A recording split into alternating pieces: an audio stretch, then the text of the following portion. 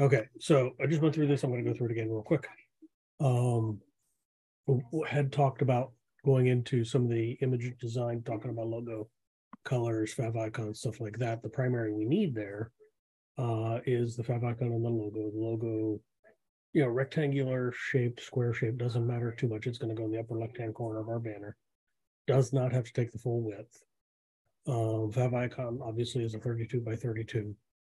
Um, a social media preview thing, 640 by 320 or 1280 by 640 uh, something that I'd like to get. So if we post a link to our GitHub page somewhere, then we get that nice, clean, pretty logo instead of whatever GitHub wants to put up there.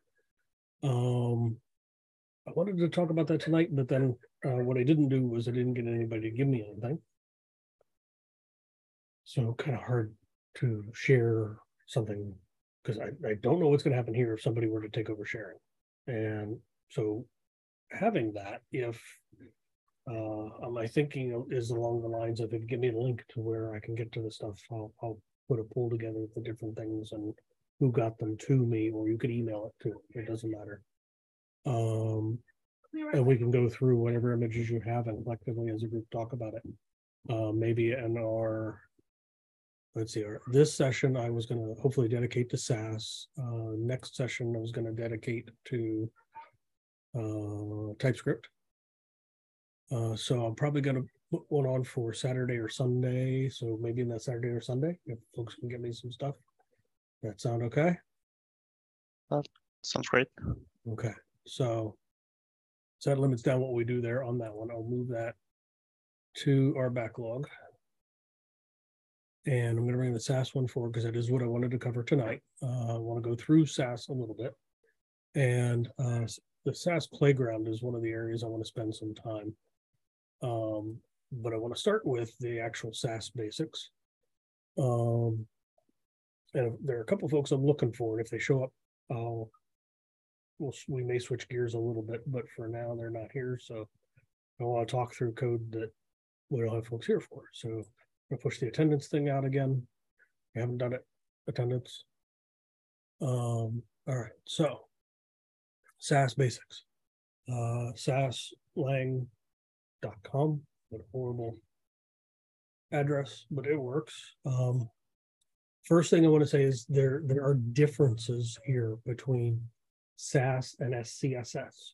The original version of SAS, SASS that was generated um, was not a superscript of CSS. So you could not write CSS in a Sass file. They very quickly figured out that wasn't a good idea, and they shifted over to SCSS, which is where the file name extension changed. And so, actually, what we talk about as CSS today is actually, or what we talk about as SAS is actually SCSS just hard to say SCSS over and over again, so we'll go to Sass. Okay. So there actually are two different versions. Not a big deal. Um, you can actually ex execute and precompile and this stuff because that's what Sass is. It's a precompiler. It takes our code, it compiles it down to CSS. Okay. Um, Sass can take variables, and in our file is just as simple as a dollar sign, whatever you want to name it. You can include dashes, which I thought was really strange, but it works. Uh, and it can be a string after it. It can be a hex code after it. It could be, you know, there are lots of different things you could do with variables. I don't use the variables a lot. Okay. Um, but then implementation becomes you're just using that dollar sign and that variable name somewhere in your CSS and it translates it. It puts the pieces together. Okay. Main reason I'm a big fan of SCSS is nesting. Okay, so you take something like this, where you've got a nav UL, an LI, an anchor, it turns it into a nav space URL, nav space LI, nav space anchor. Okay, this is what you guys, if you haven't been using Sass, are probably used to writing, right? And it can get challenging to write that. Um, this nesting makes it real clear what's going on. Okay um, easy to work with, uh, e- easy to write. Okay. Uh, we have things that are called partials, not going to dig into that too much. Modules, not going to dig into that too much. The modules essentially is a way to include code, to have it in multiple files. All right. For a single individual project, it might have some uses. Uh, for most of what we're going to do with Angular, your SCSS files are already tied to your component.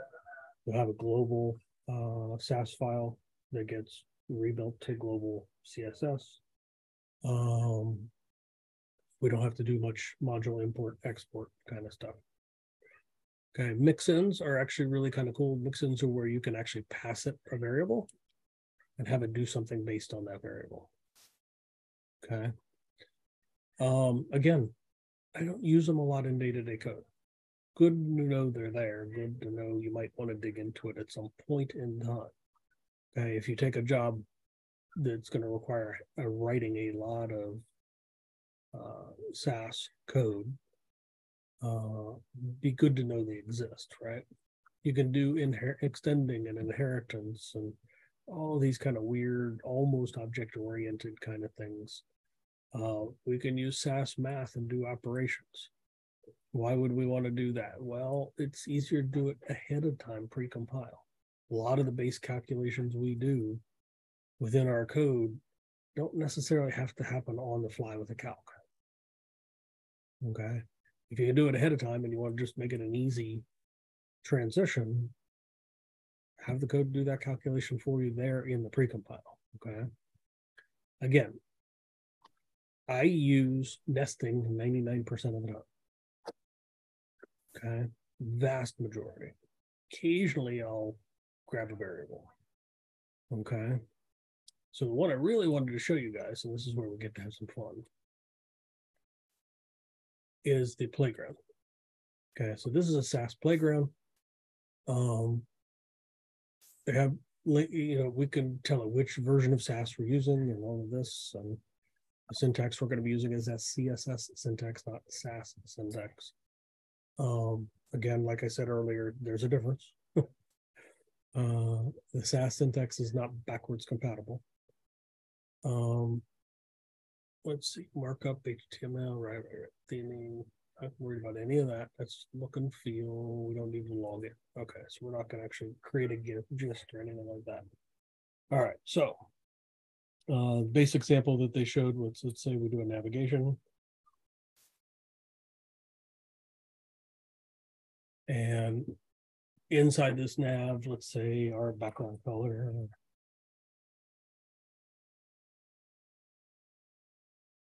We'll make it silver. We'll keep it simple. Okay, so you're seeing a one-to-one translation here. So what happens over time? And can I do a, there we go, make it a little bit bigger. There we go. Better? All right.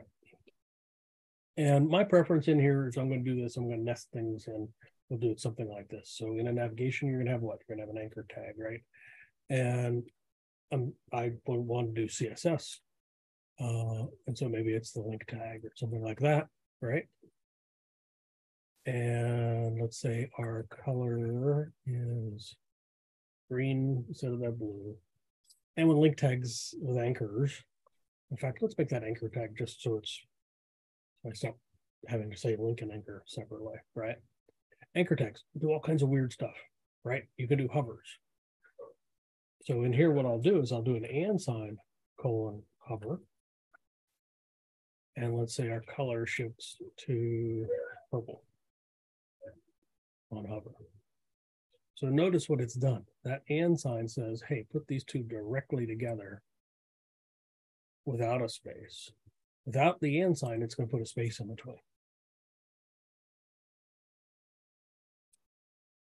That's kind of a cool thing, right? So and if we did something like, say we wanted active, right? So let's say uh, not active. So if it's active, say our background color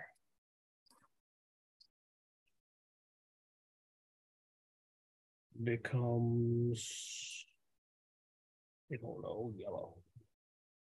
I don't know why we would do that. Now, if I'm changing my background color to yellow there, I probably somewhere up here, I'd put something in here where my background color was pale blue. Right? Probably had something that was like this in earlier. But I don't want to override it with a yellow. What I would want to do is something like this. If it's not, if it's active, do this. If it's not active, then do this. So instead of an override here, what I'm doing is I'm telling it the on state and the off state separately. Okay. And at some point, some point in time here, this should catch. Oh, I've got an error in it, which is why it's uh, and sign and and sign in there. I've got errors in my code, which is why it's not compiling over there. And I don't, don't want that. There we go. Now I got it straight. Okay, so the and sign says anchor tag dot active, no space. Okay, so active is not a child of anchor tag, it's the same level. Okay. The not active, again, it's just saying we don't have the active tag, change our background color to pale blue instead of yellow. This would be a horrible looking design by the time all said and done. Okay. Um, the difference between SASS, SAS, and SCSS, what we're writing right here, is they drop a lot of the parentheses and things out. It's it's really easy to write, but you couldn't use any part of that in a real CSS file. Okay, whereas what you see here, at least the navigation background color silver could work. You can write actual CSS in an SCSS file. It still compiles correctly. Okay. So, you know, I know it's only been 15 minutes since we started here, but any major questions on this? okay. So the vast majority of what we'll be working with in the project is going to be like this. Okay. You absolutely can write your CSS this way. I probably will ask for it to be changed. Okay. Um, but there's nothing wrong with that. It will work, right? And what I've written here is ugly but viable CSS. We can test that too, right? We can come out to something like JS Fiddle. Um, let's see, we'll come out here, we'll grab our CSS out of the playground.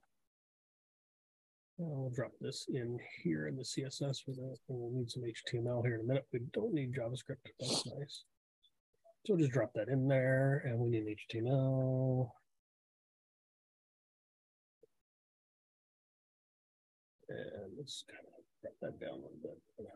So we get some room. And drop that way down there.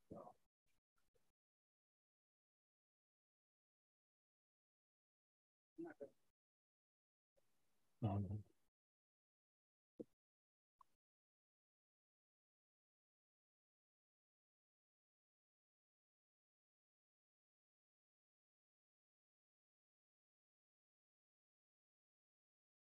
increase this one. There we go. That'll make it easier for you to see, right? And let's put one or two of those in there. And so we can differentiate and see what we're looking at. One, two, three, four, and we'll make two active.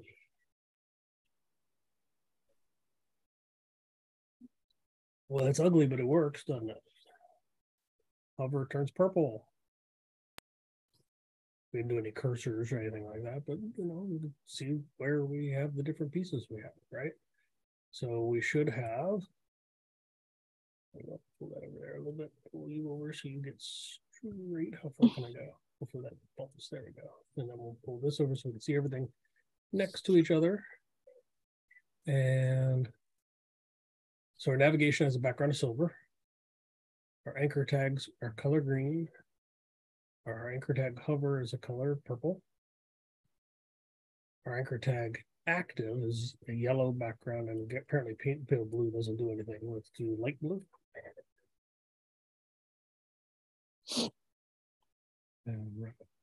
There we go. There's the light blue. So pale blue wasn't a real color. That's why that failed in the playground. There now it works. Makes sense?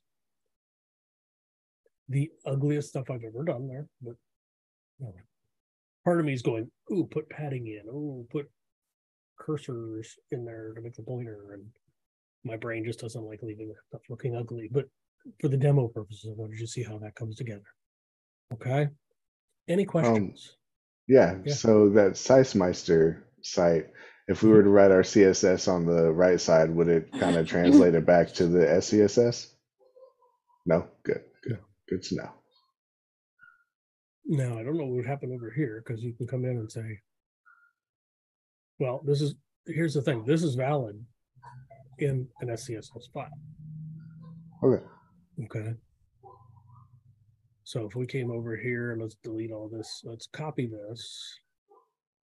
I don't need to replicate this. Let's paste it over. Oop. Yeah. So what I would have to do is delete this out. Oh, come on, it's not letting me delete that out. There we go. If I try putting it in over here, yeah, I don't even think it's letting me put it in over here. Yeah, can't even type over that. So it's unidirectional. Okay. Um, but that would be the problem is this is technically valid inside an SCSS file. So how would it know what to adjust? But looking at it, it shouldn't be too hard. This is a space anchor tag. So I copy this, paste it inside here. Right? I copy this, paste it in there, copy this, paste it in there, copy this. Well, then I'm copy pasting anchor tag with a bunch of stuff after it, which tells me I need some and sides inside the anchor. Right? To kind of reverse engineer that. it'll be fun. It is. It's a lot of fun. Um, honestly, of the majority of the CSS tools that I've used with active clients, SCSS Sass is probably one of the biggest ones.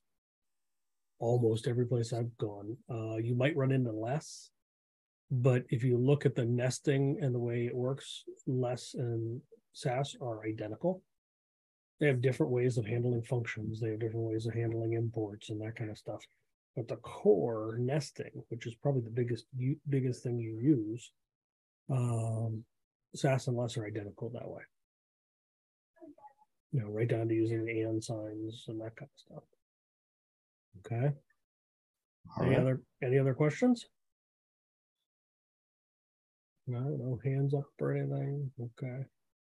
Trying to see all who else here. All right, so we've got some other folks. Okay, so somebody's reposted the attendance. All right, everybody got the attendance straightened out.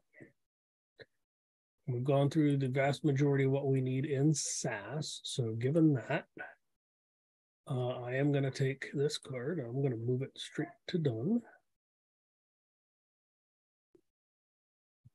And that'll be marked in our timeline. So why don't we jump into the TypeScript a little bit, because that's one that I know is, has been a little confusion on some of the cards. And just like the SassMeister, we have a TypeScript TypeScript playground that actually is really kind of cool. It's the same kind of thing. What does it look like in normal code? What does it look like in compiled code? Okay. And what you realize real quickly is that it's not a lot different. There are there are significant advantages. I'm going to take the code out here. Um, and you know, if we jump into the docs and learning and this kind of stuff, learning to create your types or your interfaces, that's probably the most challenging part of TypeScript. Okay. Uh, we can, I could spend, we could spend weeks on this and not get through everything. All right.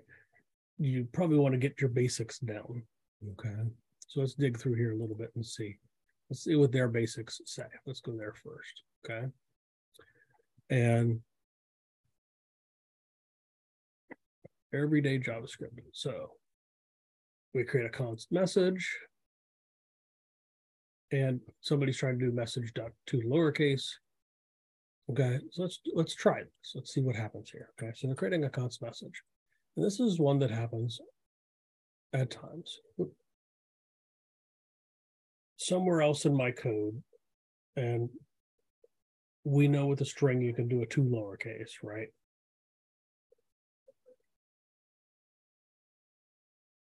And it actually should work. Let's see what they're trying to say here. Okay, so you probably guess if we try and run, we'll get the string only in lowercase, right? This fails with a an exception. I don't see why it would fail with an exception. All right, let's find out. Okay, so we have it's generated code, which looks pretty identical to what we're currently doing. I don't agree with them that that's going to fail. And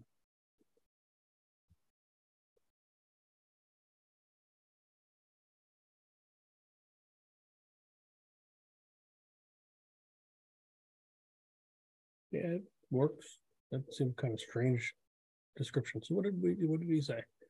By assuming we don't know the value of message, we can say results get okay.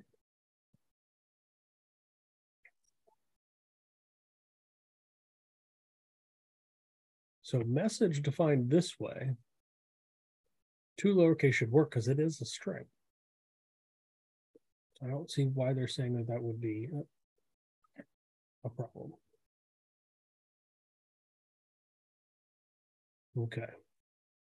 Um, I can say that's not callable. Yeah, I understand now. And static type checking, blah blah blah blah blah. All right. So what does it? Let's let's. You guys can read that. Okay. I was gonna. I was hoping to be that would be really helpful, but to me, I'm looking through that and I'm far enough along that most of this would drive me nuts to try and sit and read. Okay.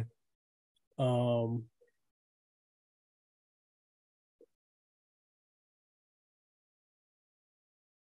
so let's look through the list of types and things like that. I think that makes more sense to start there. Okay, so what we're doing at our core level is we're defining our types. Okay, so forget about this two lowercase. What we're doing is we're telling it that this has to be a string. Okay, this is one of our types. We're going to talk about the types here. So if I had put 12 there, my typing, my my editor is going to give me an error. Going to give me a, a warning because number is not a type string. Right? What I put in was a number, not a string. This is where the important of TypeScript is. I would say nine out of 10 problems that I have in my code are caught because of TypeScript. Okay, as a dev, we spell things wrong, we misname things, we make little mistakes when we pass things through from one place to another, right? TypeScript is what saves our butts on that. So it, this has to be a string. So if we build something a little more complex, so let's say, um,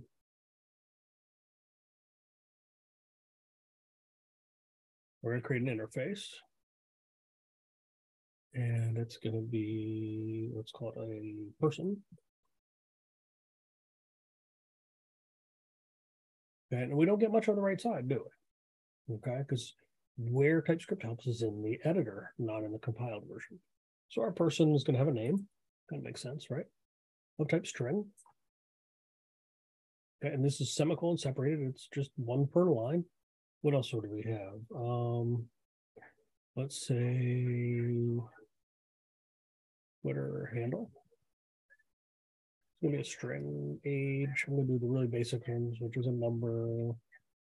Okay. So we build a person.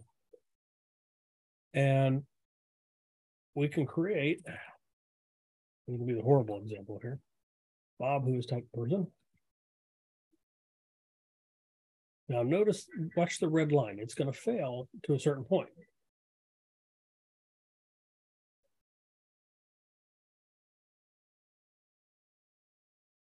Now here I have to do comma separate because what I'm adding is a JavaScript object. This is not a JavaScript object. That's an interface defining the types, the key value types. Okay. Now handle.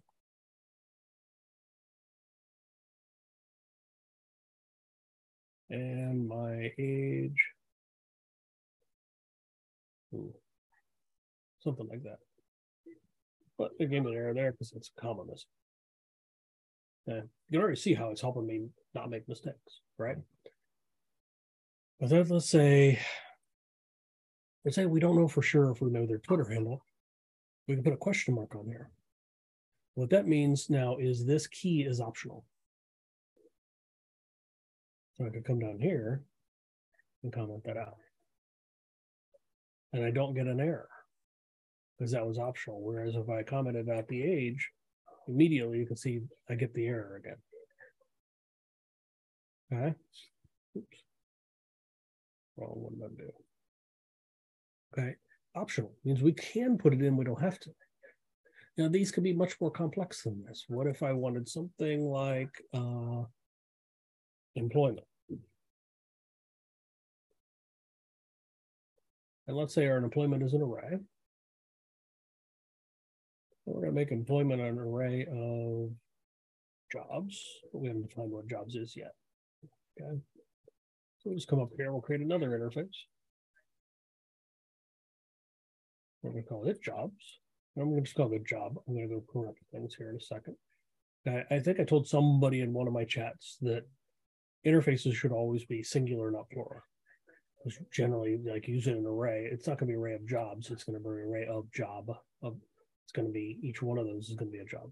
So my preference always to make them singular. Okay. So our job would have something like uh, company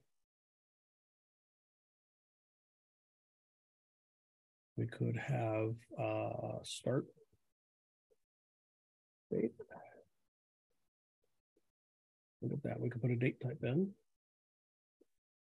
And let's say uh, title.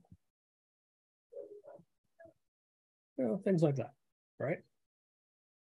But employment's not optional. So immediately as we did that update, now we're going to put something in. And that's enough. An empty array is an array of job. Right? Look how complex it is over here. So the TypeScript doesn't do much for the final code. In fact, one of the drawbacks that I've seen in TypeScript is if you really want to write that optimized JavaScript that I mean is screaming fast, doing it through TypeScript is probably the wrong way to go. Okay. Uh, but I would say I almost always will default to TypeScript. I mean, there are very, very, very few cases where I want to go away from TypeScript. It just provides so many helpers along the way. So let's take a little bit to take a little bit of a look through some of the types that we have. So we have string, we have number. You've seen that. Okay. There's no difference between integer and float. That sounds familiar with JavaScript, right? So everything's a number. You have a Boolean type. Okay, so what will we put in here is a Boolean type? Um, let's see. Uh, what would we put in as a Boolean? I don't know. Oh, here we go. Work. What's it? Remote. Okay. Now, we don't have any jobs in, so we're not going to get any errors yet. Okay. But the remote Boolean, um, now one of the things you can't do, one of the assumptions you'd want to try to do is like, hey, can I give this a default value? No. Okay. Doesn't work that way. Okay, but let's say for employment here, I put in, okay, so I'm at leading edge. Oh, but uh, I gotta give it a key. Oops.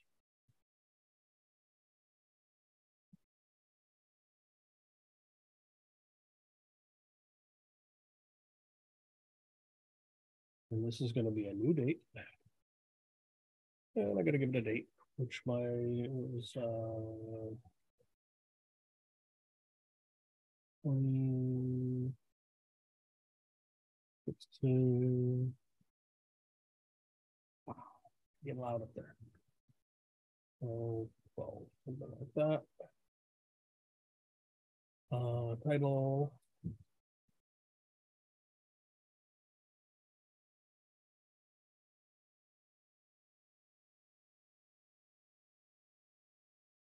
And it's not gonna do anything until I put this remote in.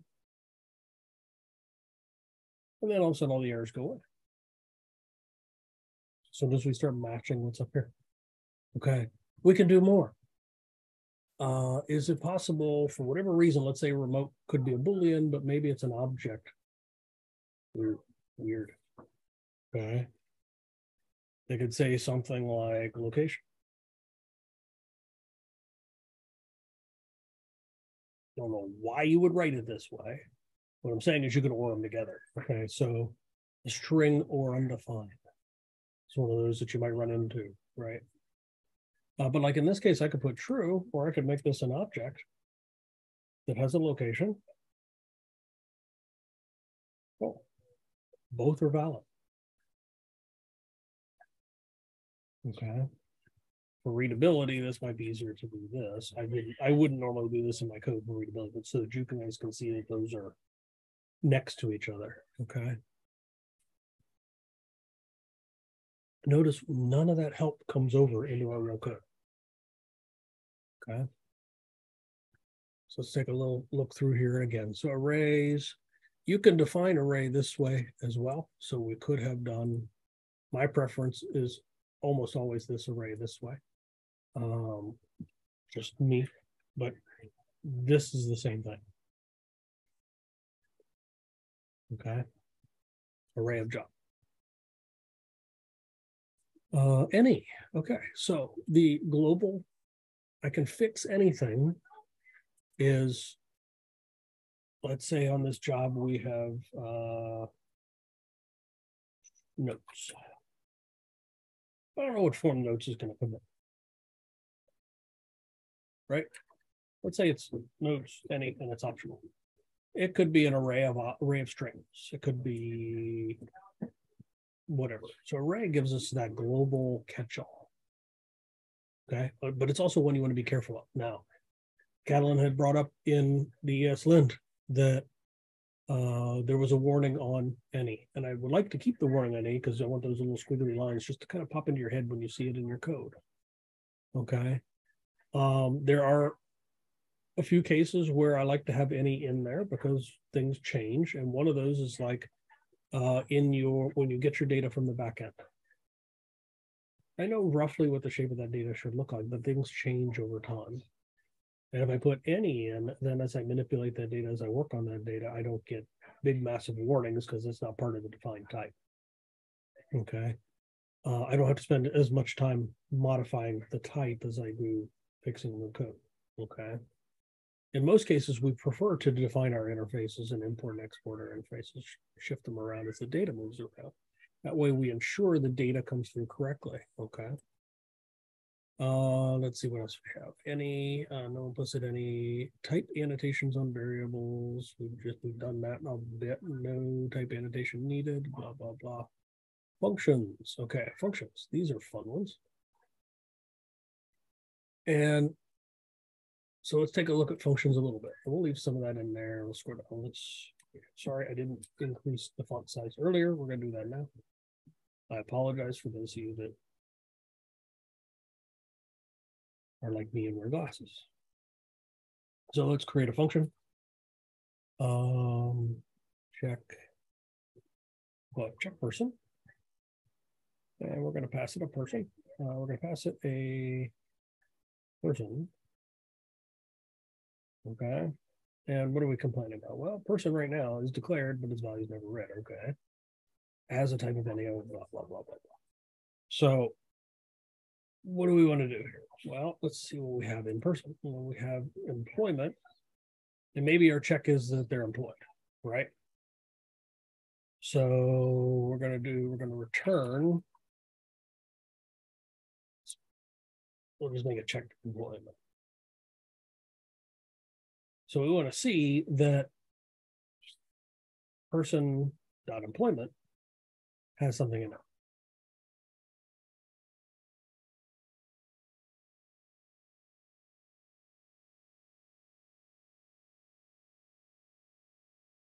Just that. Okay. Okay. Still get a complaint on person because it's implicitly a type any. We haven't said that. Now you can just go colon any And boy, that solves a lot of problems. Okay, but we also know we have this person interface that we can key into it. What we don't have is we're not telling it what comes out of the function, which we can do simply by putting a colon here. And we, yes, we can use any, just like we could on the other side. But we know this is going to return a Boolean, right? Okay, so we're typing what comes in and what goes out. Okay, if check employment were only, notice the error that pops up already, console.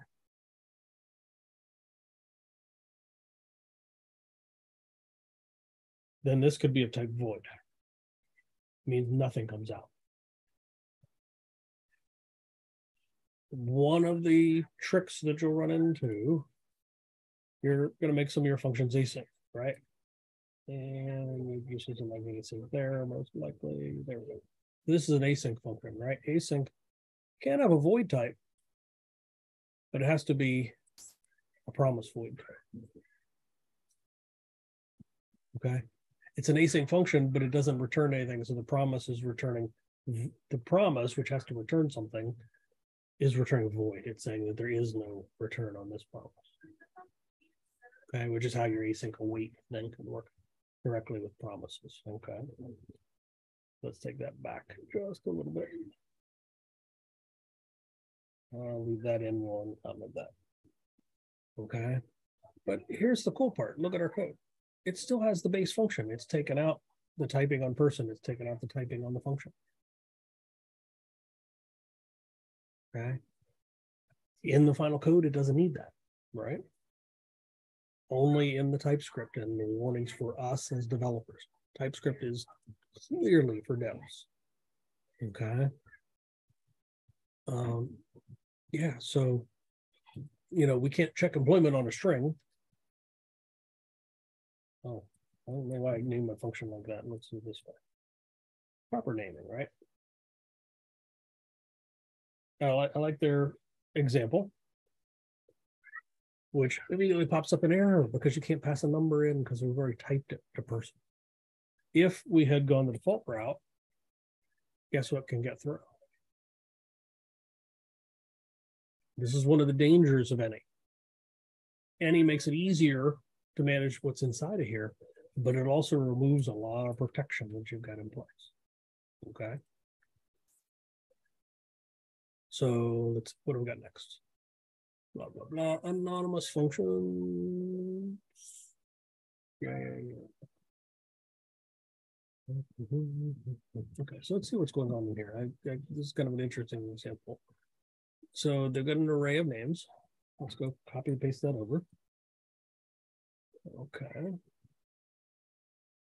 Kind of curious what they're doing with this one. So that may have my name in there. So there's always a Bob in there somewhere. We're gonna drop this in a names for each. Oh, I didn't copy. I know I selected it. There we go. And we have to close it out properly. So what happened here? So we have a names, which is an array of strings and assumed that. Okay, we don't get a warning on that one. I don't know why you do in some cases and don't in others, but I'm not going to worry about that. We ran it through our typical for each function. And we passed that to a function. It's passing in the variable s to each function. So each time through, it should be passing one of those name strings. But here when we try and console log and we try and shift uppercase, it's saying uppercase doesn't exist on type string.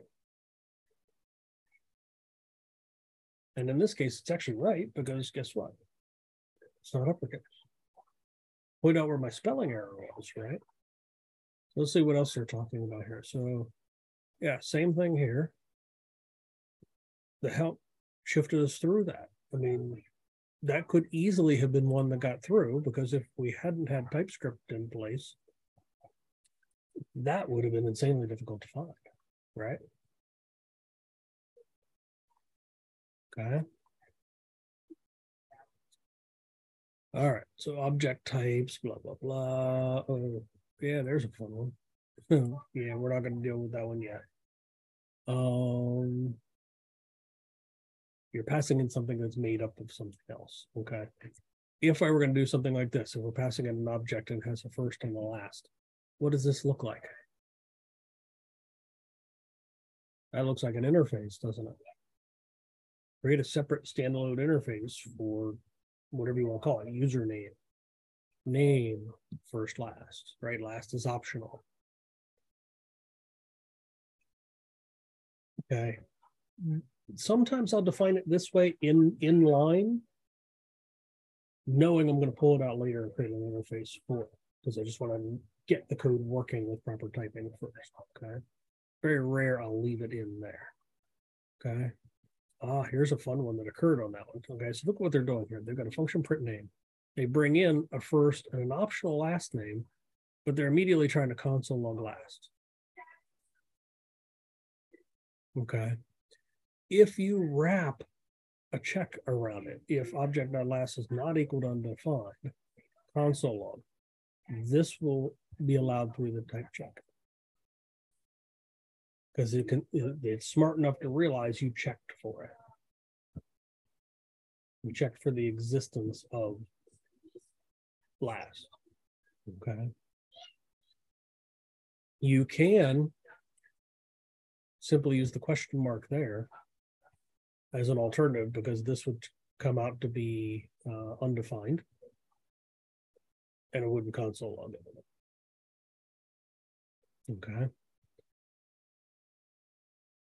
So that's one of those that you'll run into. I talked about union types just a little bit. An ID is probably a good example of that because it could be a number, could be a string. Uh, maybe you allow it to send in a number, your final values of type string, and you do a conversion somewhere along the way, right?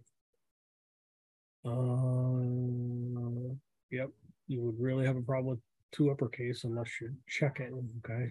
If it's of type string, do this, otherwise do this, okay? Uh, is array. Okay, so here they have to use the array is array. They have to check it. Let's see, what have we got in type aliases? Da, da, da, type alias exactly what it is, name for a type. That looks kind of familiar, doesn't it? It looks like an interface, only it's a type equals. Okay, they function very similar. There are, are some uses. Usually I stick with interface unless I get really stuck on a problem. Okay. Um, let's see, interfaces. Yep, we spent some time talking about interfaces. It's another way to name an object type. Okay. Difference between aliases and type. Interface extends an interface. Type extends a type via intersections. So the interface animal, name string, type animal equals name string. Okay, gotta have that type in the equals. Interface bear extends animal. Okay. Type bear is animal and honey boolean. This extend says put the two together. So you'd have name and honey. You can do the same thing over here, but you've got to and it together. Okay. So bears get bear, bear get bear. And you should be able to get name and honey off of both of those. Just differences in implementation. The reality is, if you when you reach senior and you have a preference of doing it one way or the other, because you're starting up the whole new project and you're defining what the types are going to look like, you pick the one you want, stick with it, unless you run into real problems. Okay. Uh, it's very rare that I have to shift over from that. Um, Uh, here we go. Type cannot be changed after being created. We can add new field to an interface. Okay, so interface window. Ooh, wow. That makes me nervous even playing with window. Okay. Type assertions. Ah, okay. So type assertions will sometimes come into play. Um, in Angular, you see me square brackets and round brackets around things in the HTML, right? Don't do type assertions in there. It will do weird things. Okay. In the component TypeScript files, where the components are, where the classes are, this is where sometimes you could do a type assertion. Uh, it TypeScript will occasionally forget what it is you're passing around. So you're passing a function in and it's saying, hey, I know that this key doesn't exist on the type that you're trying to reference. And in particular, when you're getting elements, okay, when you're getting document elements, doesn't matter how you get it, when you're getting something from the document. Uh, occasionally it's going to pop up and say, hey, there's no value on this. There's no clicked on this. When you tell it it's an HTML element, HT, in this case, canvas element, but if you tell it it's an HTML element, then it knows what all properties it should have. Okay. Sometimes it seems to forget, and the type assertion helps us clean that up.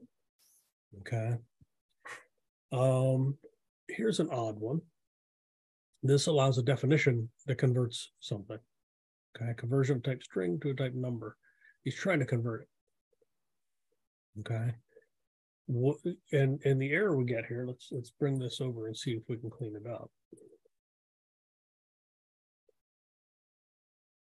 I should get an error right away. Conversion of type string to type number may be a mistake because neither type is sufficiently overlaps the other. If it was intentional, convert it to unknown first. Okay. Well, what do we think the problem is? Well, maybe because there's no way to, to coerce that to a number. Okay. Oh, maybe. Nope. Okay. So you got to be a little careful with some of these. Typical things that you would expect in JavaScript don't work. Okay. And I got 10 minutes left, guys. So we're gonna, let's see how far through this are. Okay, literal types, don't worry about that. Uh yet. Literal interface. Null and undefined. Um, and undefined can cause problems here and there, but you can do standard null checking and that kind of thing. Um, if you write your code properly, you can do it without having to deal with null and undefined or at least limit it. Okay.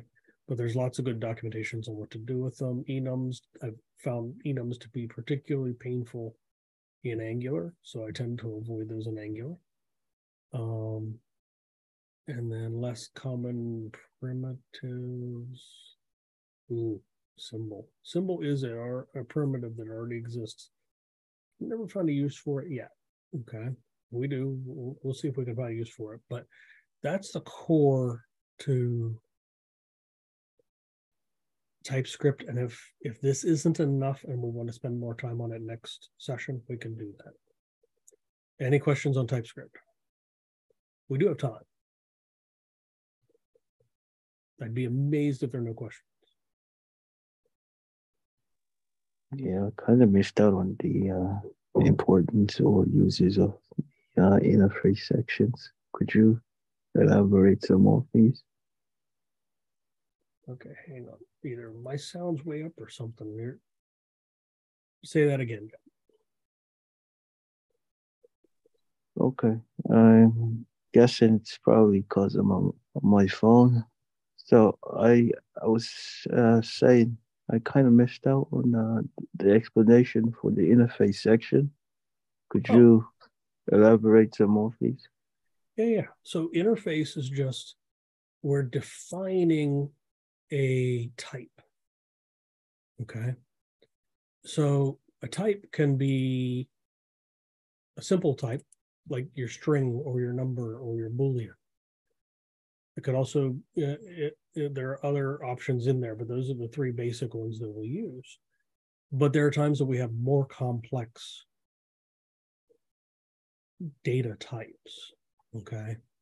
So in this case, like I have here on the example, person is an interface. Person has uh, a a person would be an object when it's generated, but it would have a key name of type string, uh, a key Twitter handle, which is optional of type string, optional being defined by the question mark, an age, which is a number, and an employment, which is an array of job. Okay. Um, and use of that type person then becomes something like here where I did const bob colon person colon being where I'm telling it what the type is. So the type is that more complex interface type. Um, equals, and we create an object from there. Okay. And what it does is it enforces what keys and values you're allowed to put on and what those keys and values look like. Does that help? Sure does. Thanks. Okay. The more you play with them, the more they make sense. Okay. Okay. Anything else?